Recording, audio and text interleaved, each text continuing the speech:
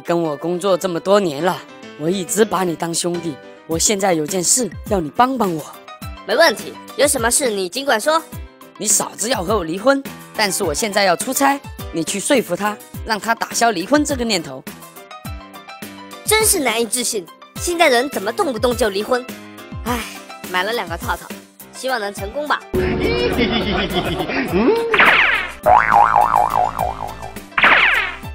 表面平静的水也有很危险的时候。哪位同学能来说说水什么时候最可怕？在海边的人遇到海啸的时候，在海里游泳抽筋的时候。嗯，很好。小皮，你来说。拉屎时屎跌入马桶，水溅到屁股上的时候。滚出去！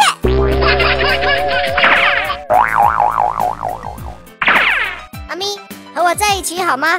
你可以答应我一个要求吗？什么要求？我喜欢吃甜食，喜欢吃糖，你会经常给我买吗？这个好办，我有很多哦。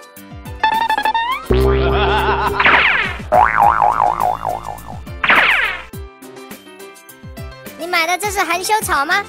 是啊。不是吧？我看他这么久，他怎么还不害羞啊？含羞草要含了才害羞嘛。傻吗你？这是一颗仙人掌，捧在手心就会成仙吗？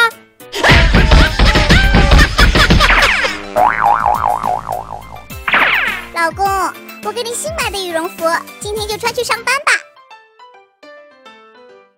老婆，你给我买的这件羽绒服真好，好多女同事都想约我。怎么回事？你他妈看看，我现在像不像鸭？